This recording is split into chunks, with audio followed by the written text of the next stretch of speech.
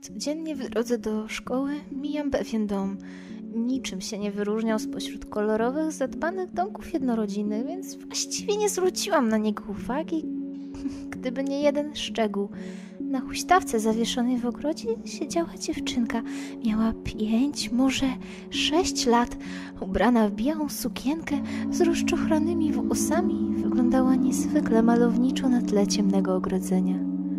Głowę miała opuszczoną tak, że ciemna grzywka całkowicie zasłaniała twarz.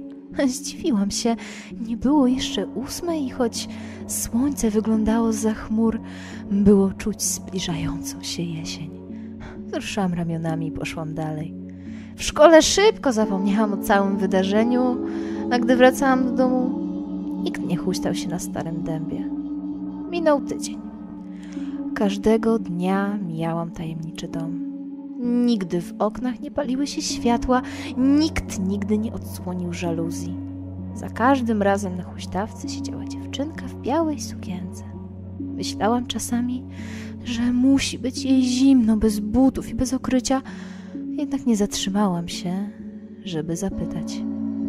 Tego dnia było jak zwykle, jednak na wysokości domu 17 usłyszałam głos, tak cichy, że pewnie bym się nie zorientowała, gdybym z przyzwyczajenia nie spojrzała na huśtawkę. Pobaw się ze mną. Zabrzmiało to jak westchnienie. Zamurowało mnie. Jestem z natury mało sympatyczną osobą, świadczącą o sobie już samym wyglądem i generalnie dzieci się mnie boją. Nie mam teraz czasu, spieszę się. Poczułam się głupio, jakbym się usprawiedliwiała przed tym dzieckiem. By wyjść z niezręcznej sytuacji, założyłam słuchawki i puściłam mocniejszą muzykę. Jak zwykle zresztą w takich sytuacjach. A gdy się ponownie obróciłam, wzrok dziewczynki był wbity w bose stopy szurające po ziemi. Podczas kolacji zapytałam rodziców, kto mieszka pod numerem 17. Nikt jest opuszczony, odkąd się wyprowadziliśmy. Usłyszałam odpowiedź. Lekko zdezorientowana, rozmyślałam nad tajemniczym domem. Nie przejmowałam się samotnym dzieckiem. Bardziej interesował mnie sam budynek. Dom z zewnątrz wyglądał na dobrze utrzymany. Trawnik był skoszony.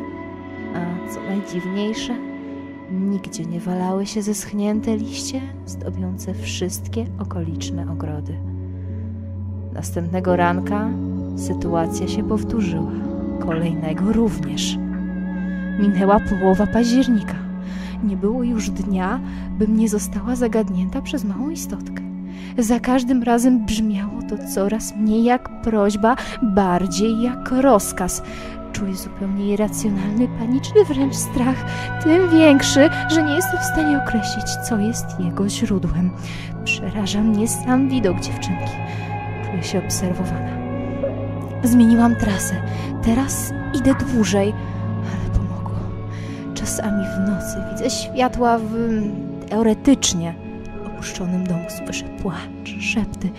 Mimo, że zawsze spałam dobrze, teraz odczuwam niepokój za każdym razem, gdy leżę sama w ciemności. By w ogóle zasnąć, słucham muzyki, przestawiając się na coraz mocniejsze brzmienia. Zaczęłam pisać, sama nie wiem po co.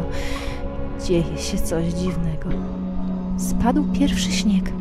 Zawsze cieszyłam się z tego powodu, jednak dzisiaj biel za oknem mnie przeraziła.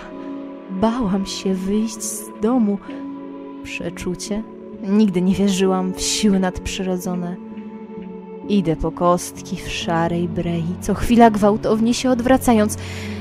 Najgorsza była cisza przez ostatnie dni. Przywykłam do hałasu. Nie chcę włączać muzyki w obawie, że czegoś nie usłyszę. Nie skręciłam. Trafiłam znowu na starą ścieżkę. Staram się nie patrzeć, odwrócić wzrok, lecz oczy same błądzą w kierunku starego dębu. Nikt nie siedzi na huśtawce.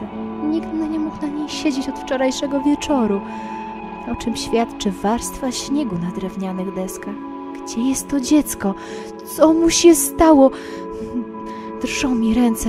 Ktoś tu jest, musi być. Niemożliwe, by dziewczynka z własnej woli zrezygnowała. Odwracam się gwałtownie. Nic. Stoję sama na pustej ulicy. Nie mogę spać, cały czas myślę o dziewczynce. Ciężkie płatki śniegu uderzają o szybę. Wiatr krzyczy, wyginając gałęzi rosnącego przy oknie dębu. Mała dziewczynka w białej sukience, bezradna. Dlaczego o niej myślę? Musi marznąć w tym śniegu. Słyszę dziwny dźwięk. Nie umiałabym go opisać, gdyby ktoś mnie zapytał. Czuję strach, przerażenie, jednocześnie wiem, że to nie są moje uczucia. Otwieram oczy. Za oknem, przytulona do, do drzewa, stoi dziewczynka. Blada, prawie przezroczysta. Splątane włosy zasłaniają jej oczy, zsiniałe usta drżą. Podchodzę do okna. Zrywa się gwałtownie wiatr, ciskając mi w twarz płatki śniegu. Nie pamiętam, żebym otwierała okno. Wchodzę na parapet, rozglądam się. Widzę wysoką postać w kapturze, zmierzającą w naszą stronę. Moje ciało reaguje natychmiast. Jeszcze zanim zauważam kolejne istoty, za wszelką cenę chcę uratować to dziecko. Gałęzie nienaturalnie wydłużone sięgają mojego okna, nie uginają się mimo mojego ciężaru. Chwytam dziewczynkę i cofam się w głąb pokoju. Nie czuję zimna, nie czuję maleńkich palców wczepionych w moją szyję. Przerażona wpatruję się w okno. Najpierw widzę dwie ręce. Po chwili przez parapet przeskakuje młody mężczyzna. Chłopak, luźna szata, luźno wisi na szczupłym ciele idzie powoli w naszą stronę. W jego ręce materializuje się nóż. W oknie pojawiają się kolejne postacie, lecz ja ich nie zauważam. Wpatruję się w twarz, dotąd skrytą pod kapturem. Na wyraz twarzy, sposób, w jaki na nas, na nią patrzył, jakby oczekiwał polecenia. Ostrożnie obracam dziecko twarzą do siebie, jednocześnie czuję ból w klatce piersiowej. Ostatnie, co widzę, to wyraz triumfu w stalo-szarych oczach. Pobaw się ze mną.